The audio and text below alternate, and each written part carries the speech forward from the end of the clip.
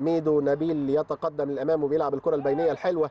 وادي الكرات بقى واللمسات الحلوة من لاعبي النادي الأهلي. وهجمة جميلة جدا واحدة والثانيه اتلعبت حلوة قوي ناحية شمال. مازن أسامة عدى وماشي. وادي العرضية من مازن أسامة. خطرة والهدف الأول. والهدف الأول للنادي الأهلي. الجول الأول للنادي الأهلي في أحداث هذا اللقاء من كرة عرضية حلوة. بيسجل بقى النادي الأهلي الهدف الأول في المباراة. الهدف الأول للنادي الأهلي في المباراة وكرة عرضية من مازن أسامة بشكل متميز جدا في مباراة اليوم وعبد الرحمن شريف. عبد الرحمن شريف بيضيف الهدف الثاني ليه في دوري هذا الموسم والأول في مباراة اليوم للنادي الأهلي علشان يتقدم الأهلي على الجونة بهدف مقابل لا شيء في مباراة اليوم. برافو يا ولد يا لعيب.